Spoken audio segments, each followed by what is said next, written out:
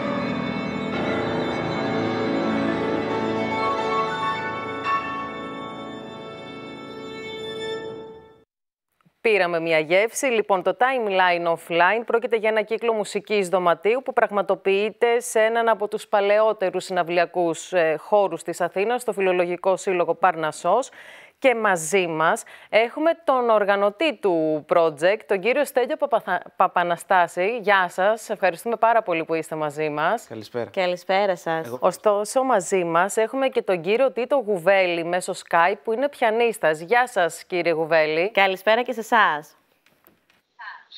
Καλησπέρα σας. Γεια σας. Οπότε, εγώ θέλω να ξεκινήσω και να σταθώ λίγο στον τίτλο που επιλέξατε, στο Time Offline. Γιατί επιλέξατε αυτό τον τίτλο; Αυτό ήταν ε, δικιά μου έμπνευση, αν επιτρέπετε.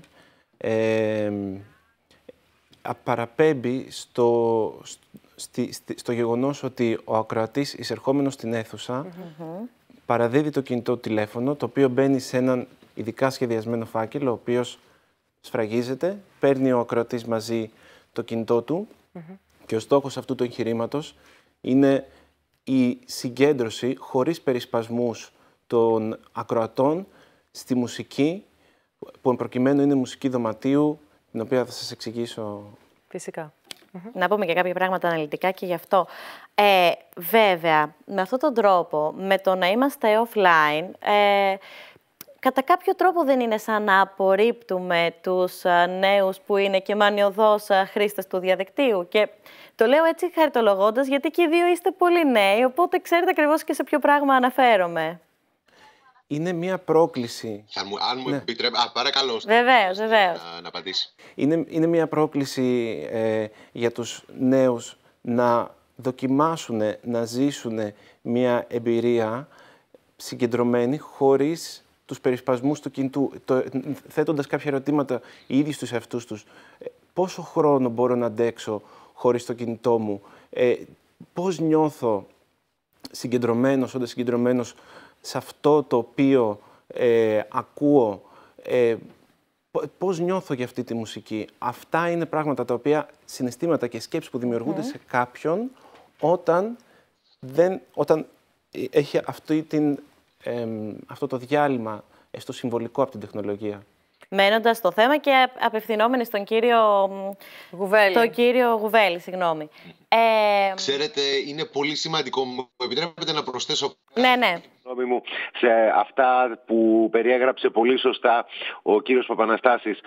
Η μουσική, η κλασική μουσική, για να μπορέσει κανείς να την απολαύσει και να τη βιώσει, απαιτεί συγκέντρωση. Αυτή είναι η διαφορά, η κέρια διαφορά αυτού του είδους μουσικής από τα άλλα είδη. Ότι απαιτεί την προσοχή μας. Στη σημερινή εποχή που δεχόμεθα διαρκώς πληροφορίες στα κινητά, στα τάμπλετ, στην τηλεόραση, από παντού βομβαρδιζόμαστε από διαφορετικά μηνύματα, το να μπορέσουμε να κρατήσουμε την προσοχή μας για ένα τέταρτο, 20 λεπτά, μισή ώρα σε ένα καλλιτεχνικό δρόμενο, σε ένα μουσικό δρόμενο, είναι ένα τεράστιο κρίσιμο και πάρα πολύ δύσκολο στίχημα. Στην ουσία λοιπόν η ενέργεια αυτή, η οποία είναι μια συμβολική ενέργεια του να αφήσουμε το κινητό μας, έχει ένα χαρακτήρα πρόκλησης αλλά και ένα χαρακτήρα του να διασφαλίσει σε συμβολικό προφανώς επίπεδο ότι είμαστε διατεθειμένοι να αφήσουμε αυτήν την τρεχάλα της πληροφορίας και να αφοσιωθούμε σε ένα μουσικό έργο τέχνης. Κύριε Γουβέλη, έχει, έχετε απόλυτο δίκιο. Τώρα τους, όλους τους λόγους για τους οποίους πρέπει να αποσυνδεθούμε όταν πάμε να παρακολουθήσουμε κάτι από μια τόσο ξεχωριστή συναυλία, από το κινητό μας τηλέφωνο, το αντιλαμβανόμαστε όλοι. Αυτό όμως που θα ήθελα να ρωτήσω είναι το αντίστροφο. Δηλαδή όταν ερχόμαστε και είμαστε κατά κάποιο τρόπο και στο, και στο κινητό μας τηλέφωνο, τι, τι δημιουργούμε στους καλλιτέχνες, τι αίσθημα δημιουργούμε στους καλλιτέχνες. Κοιτάξτε να δείτε, ε, το πιο σύνηθες πρόβλημα είναι του να χτυπήσει το κινητό τηλέφωνο μέσα στην αίθουσα κατά τη διάρκεια της συναυλίας. Ασφαλώς υπάρχουν πολλοί συνάδελφοι και εγώ ε, δεν λέω ότι δεν ισχύει και για μένα που ενοχλούμαστε από αυτό. Αλλά θα έλεγα ότι η ενόχληση δεν είναι προσωπική. Ε, είναι σαφές ότι ένας αγαπητός ακροατής ή μια αγαπητή ακροάτρια που ξεχάσει το κινητό ανοιχτό δεν είναι ότι δημιουργεί δημιουργεί μια ενόχληση ή μια προσβλητική συμπεριφορά προς εμένα ή προς τον οποιονδήποτε άλλο συνάδελφο είναι το ότι δεν μπορεί πραγματικά να νιώσει και να απολαύσει αυτό που προσφέρεται. Ναι. Οπότε είναι θα έλεγα ένα οξύμορο σχήμα να έρχεσαι για να ακούσεις μουσική και την ίδια στιγμή να απαντάς στο κινητό σου τηλέφωνο. Σημαίνει ότι δεν μπορείς υπό αυτές τις συνθήκες να απολαύσεις αυτό το ναι. οποίο αν θέλετε να το πω αλλιώς αυτό το οποίο πληρώνεις γιατί πληρώνεις ένα εισιτήριο για να απολαύσεις κάτι και αυτό ακυρώνεσαι. Έχετε δίκιο. Ουσιαστικά το, μήνυμα των συναυλιών είναι το σφραγίζουμε τα κινητά και ακούμε μουσική. Ακριβώς, ακριβώς. Και επικεντρωνόμαστε και στη μουσική. Κύριε Παπαναστάση, στις 18 Μαρτίου ήταν η πρώτη συναυλία. Πώς πήγε όλο αυτό το εγχείρημα; Ε, είχε πολύ ενδιαφέρον. Ε, άλλοι θέλουν να δώσουν το κινητό τους, ε, άλλοι όχι. Ε, εν τέλει, ο κόσμος που το, που το έδωσε είχε αυτή την αίσθηση ότι έζησε κάτι ιδιαίτερο, γιατί πέρα από συμβολικό, ε, έχει και ένα, ένα, ένα πρακτικό αντίκτυπο. Εκείνη τη στιγμή έχεις, έχεις το κινητό δίπλα σου, αλλά δεν έχεις άμεση πρόσβαση επειδή είναι σφραγισμένο. Και επί της ουσίας είχε, είχε ένα θετικό αντίκτυπο δηλαδή στο, στο κοινό. Νωρίτερα πριν, πριν μπούμε στο διάλειμμα, όταν σας καλωσορίσαμε, είπαμε να μας εξηγήσετε και λίγο τι ακριβώς σημαίνει μουσική δωματίου. Είδαμε το βίντεο, πήραμε μια γεύση, όμως είναι πολύ διαφορετικό να το ακούσουμε από εσάς. Η μουσική δωματίου, ε, αν θα μπορούσε κάποιος να δώσει έναν ορισμό, είναι ε, κλασική μουσική, ε, η οποία ερμηνεύεται από μικρό το οποίο αποτελείται από ένα έως ε, και περισσότερα μέρη, με συνηθισμένο αυτό των 2, 3, 4 ατόμων, γνωστά σε εμάς ως ε, ντουέτο, τρίο, κουαρτέτο. Να πάω εγώ στον κύριο Γουβέλη. Η πρώτη συναυλία ήταν 18 Μαρτίου, είπαμε. Ε, εσείς παίζατε πιάνο. Ποια ήταν η ανταπόκριση του κόσμου; Ε, επιτρέψτε μου να σας διορθώσω λίγο. Εγώ δεν συμμετείχα στην πρώτη συναυλία. Εγώ πρόκειται να συμμετέχω σε αυτόν τον κύκλο μαζί με, το, με άλλους δύο εξαιρετικούς συναδέλφους που συναποτελούμε το τρίο Παντούμ. Και η δική μας συναυλία θα είναι την 1η Μαρτίου στο πλαίσιο αυτού του κύκλου συναυλιών. 1η Απριλίου. Ε, 1η Απριλίου. Ναι, ναι, ναι. Ωραία. Και να μας πείτε τώρα και λίγο προσεχώς τι θα ακούσουμε. Ε, 1η Απριλίου λοιπόν, το Τρίο Παντούμ, ο, ο κύριος ε, Γουβέλης με τον κύριο Λιακάκη και τον κύριο ε, Παπα-Νικολάου, δύο μουσικούς ε, από κρατικές ορχήστες ε, της χώρας. Θα παίξουν τρία έργα, ε, ένα τρίο του Χάιντεν, στη συνέχεια του Μπράμς και θα ολοκληρώσουμε ένα τρίο του Σωστακόβιτς. Αυτή είναι και η αφίσα του... Mm -hmm, βλέπουμε τώρα. Του συνολικού, ας πούμε, ε, ε, κύκλου μουσικής δωματίου. Ε, κάποιες ε, φωτογραφίες ε, από επόμενες συναυλίες, ε, κάποιοι μουσικοί της ΚΟΑ βλέπουμε. Το... Άρα στις συναυλίες δεν συμμετέχουν μόνο Έλληνες μουσικοί; Ε, ως επιτοπλίστων, ναι. το, η τελευταία συναυλία στις 20 Μαΐου είναι ένα συμμετέχει ένα σύνολο το οποίο είναι το μοναδικό από το εξωτερικό, το οποίο, ε, στο οποίο συμμετέχει ένας Έλληνας μουσικός επίσης. Κύριε Παπαναστάση, εκτός από την, ε, εκτός από την ε, ψυχαγωγία που προσφέρει αυτή η συναυλία σε όσους είναι πλέον μοιημένοι στην, ε, στο, στο είδος αυτής της μουσικής, στόχος είναι να προσελκύσουμε και άλλους και ενδεχομένως και νεότερης ηλικίας.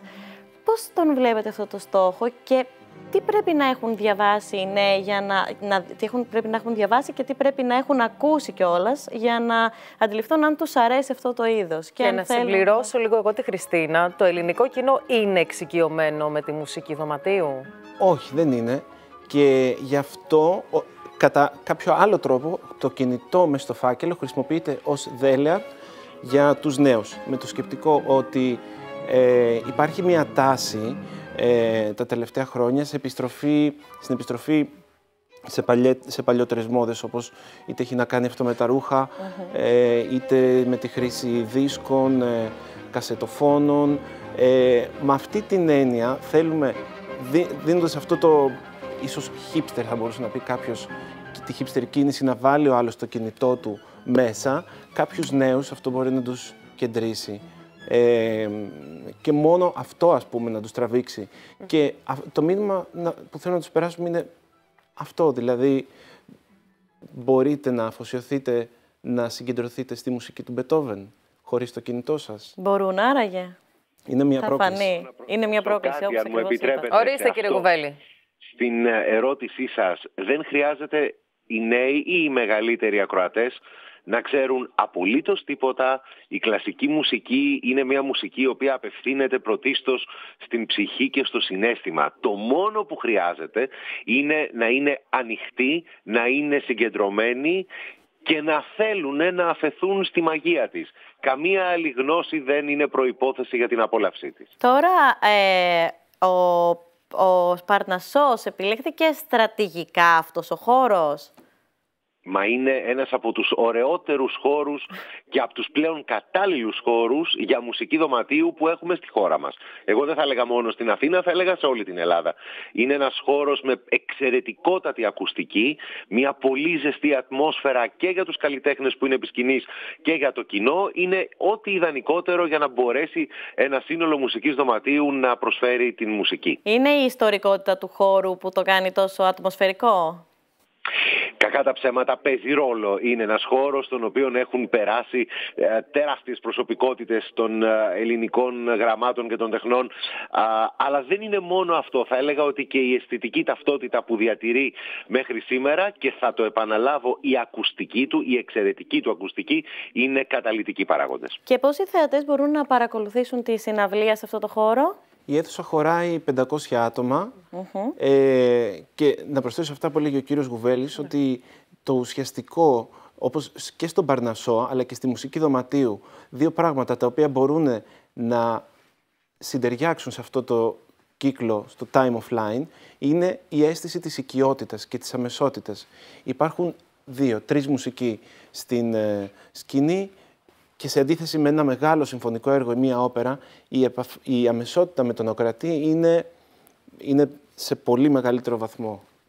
Μας λείπει στους θεατές αυτή η αμεσότητα; Ε, από μία μικρή έρευνα που είχα κάνει ε, κατά τη διάρκεια της δημιουργίας του project, ναι, δηλαδή ρωτώντας τους τι είναι αυτό που θα σας τράβαγε να, να δείτε, να πάτε να παρακολουθήσετε, να πληρώσετε, να δείτε μια συναυλία μουσικής δωματίου, η απάντησή τους ήταν η αίσθηση της οικειότητας, της αμεσότητας, ότι έχω τους μουσικούς μπροστά μου, παίζουν για μένα, τους βλέπω, ε, είναι, ε, δεν γίνεται αυτό το, το, το, το μεγάλο, το ογκώδες, το επιβλητικό, το οποίο φυσικά επίσης έχει... Ε, έχει και αυτό τη λάμψη του σε κάθε περίπτωση. Ακριβώς σε άλλο, σε άλλο βαθμό, σε άλλο επίπεδο. Σας ευχαριστούμε πάρα πολύ και τους δύο που ήσασταν μαζί μας. Σας ευχαριστούμε πολύ. Ραντεβού στον Παρνασό μέχρι και τις 20 Μαου. Και να προσθέσουμε ότι και εμείς από την πλευρά μας ε, χαιρόμαστε πολύ που βοηθήσαμε να επικοινωνηθεί αυτή η όμορφη ιδέα, γιατί μέσω των social media δεν θα γίνει. να είστε καλά. Ευχαριστούμε πολύ. Γεια σας. Ευχαριστούμε. Και εμείς επιστρέφουμε